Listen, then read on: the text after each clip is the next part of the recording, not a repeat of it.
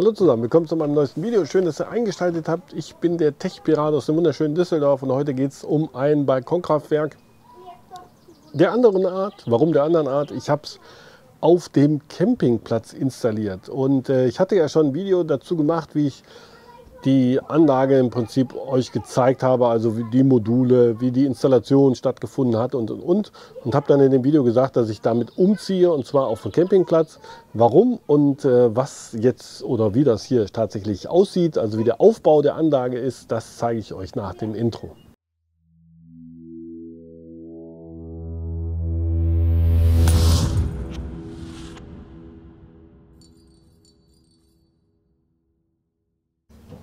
Ja, da ist sie, die schöne Anlage. Und zwar beide Module, 410 Watt, hatte ich ja genauestens berichtet. Die, wenn ihr die genauen Daten haben wollt, also alle Details zu diesen Modulen und zum Wechselrichter, dann schaut euch gerne das andere Video an. Wenn ich dran denke, verlinke ich euch das oben. Und ansonsten findet ihr es bestimmt in der Videobeschreibung und dann könnt ihr dann tatsächlich sehen, was für Module wurden verbaut. Das sind also Glas-Glas-Module. Wieso sind die äh, interessant oder wichtig oder auch nicht?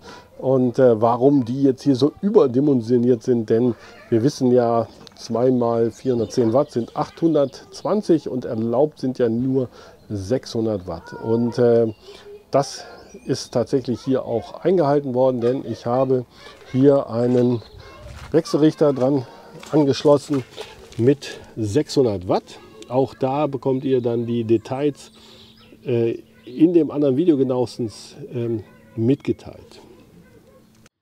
Ja, für die Konstruktion habe ich hier so Einschlaghülsen genommen. Die sind relativ lang, also 15, 20 Zentimeter. Und da muss man die schön einschlagen und dann diese Hölzer 7 mal 7 Zentimeter. Um die ordentlich zu befestigen, habe ich dann hier mir so Winkel geholt, ganz einfach mit äh, Spatzschrauben, äh, Edelstahl, damit die nicht rosten. Und so habe ich dann die Konstruktion gemacht. Hier, das habe ich noch aufgeschraubt, damit das nicht nach vorne rausrutscht, weil ich ja die ein bisschen äh, ja, schräg gestellt habe, damit das äh, quasi ein bisschen mehr Neigung hat. Dann habe ich hier ganz simpel mit zwei selbst äh, fräsenden Stahlschrauben habe ich dann in das äh, Blech die auch nochmal mit so einem Winkel äh, befestigt, damit das hier wunderbar dann auch entsprechend hält. Ja, und so kommt dann die Konstruktion zustande. Die, das Kabel von den Paneelen reicht ganz genau aus, um die dann hier ganz locker an dem Wechselrichter äh, zu befestigen. Also von daher wunderbar Möglichkeit, schnell wieder abbaubar. Das ist ja am Campingplatz immer wichtig, schnell auf- und abbaubar. Also einfach nur die Hülsen kann man ja wieder nach oben rausholen. Also denke ich, keine schlechte Sache. Wenn jetzt die Hintergrundgeräusche ein wenig vermisst, dann liegt das daran, dass der Ton ausgefallen ist und ich das Video jetzt hier ein bisschen nachvertonen muss. Ich hoffe, das stört nicht, aber es gibt noch ein paar wichtige Punkte, die ich euch gerne beschreiben möchte, nämlich ganz genau, warum ich überhaupt diese Ecke da gewählt habe. Es ist ja so, dass ein Campingplatz in der Regel nicht allzu viel Quadratmeter Fläche hat, wenn man jetzt nicht Größus ist. wir haben also da hier tatsächlich nur so 100 Quadratmeter, auf die wir dann den, das Vorzelt, den Wohnwagen packen müssen. Und äh, dann ist das tatsächlich die beste Ecke. Äh, zu dem Zeitpunkt der Aufnahme war früh morgens und wir sieht, die Sonne kommt so langsam rüber. Ich habe da die bestoptimierteste platzangepasste Ecke. Das äh, Problem ist halt, dass wir so ein bisschen Verschattung haben durchs eigene Vorzelt, durch Bäume, die wir da haben, die jetzt momentan zwar noch blattlos sind, aber die werden natürlich mehr sein. Wir haben da die Südausrichtung und wo ich gerade sehe, äh, ich habe das Video nicht morgens, sondern abends aufgenommen. Das heißt, wir sind hier tatsächlich erst in den Abendstunden und nehmen die letzte Sonne mit. So rum war es. Sorry. Also, ich hätte gerne die da oben auf dem Vorzelt gepackt. Das Problem ist, ähm, dann hätte ich im Sommer viel zu viel Verschattung durch die Bäume gehabt, also auch nicht optimal. Dadurch äh, dachte ich, ist die Effektivität dann auch nicht besser, als wenn ich sie in die Ecke passe.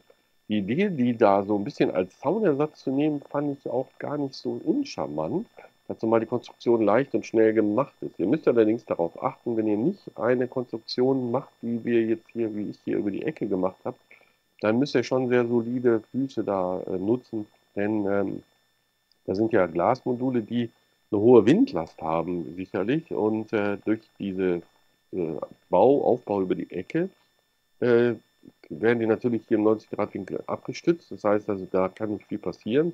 Stehen die allerdings frei, dann äh, sind hier schon hohe Windlasten, äh, die da drauf wirken und die dann das Ganze machen können. Wie ihr seht, ich habe hier sogar nochmal einen äh, Winkel in der Mitte, um die beiden gegeneinander zu versteifen. Und äh, darauf solltet ihr natürlich ein bisschen achten, denn das ist schon äh, wichtig, da auch äh, in den Konstruktionen auf Wind und äh, wenn ihr es am Dach habt, auf Schneelast und so, so die ein bisschen zu berücksichtigen, weil die Module halt tatsächlich ja undurchlässig sind, was ja gut ist. Ja, wir haben ja hier diese Glas-Glas-Module, das ist auch hoffentlich äh, hilfreich für diese Position, weil so bekommen wir von allen Seiten nochmal ein bisschen Effektivität, denn äh, diese Glasmodule wirken sowohl von hinten als auch von vorne haben dadurch irgendwie ein paar Prozent mehr, manche sprechen von 20 Prozent mehr, was ich allerdings bezweifle, an äh, Effektivität.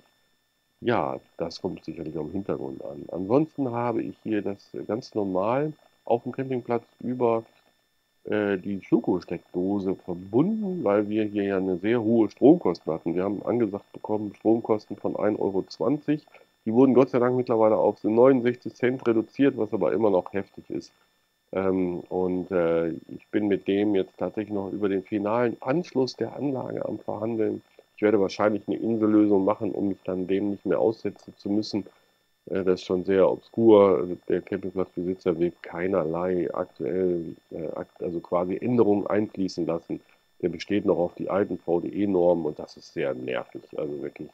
Deswegen werde ich hier einen Akku reinmachen, das ist also schon geklärt für mich und äh, da verfolgt einfach den Kanal. Dann werdet ihr dann erfahren, wie ich das hier weiter löse.